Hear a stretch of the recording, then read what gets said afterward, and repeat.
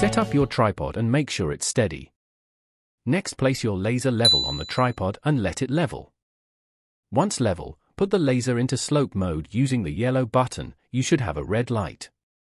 Then set up your receiver as close as possible to the laser, making sure it's on grade and level, this will serve as your first reference point. At your second reference point, for a 6-inch fall, lower your receiver 6 inches on the staff. Then using your remote tilt the beam to find grade on the receiver.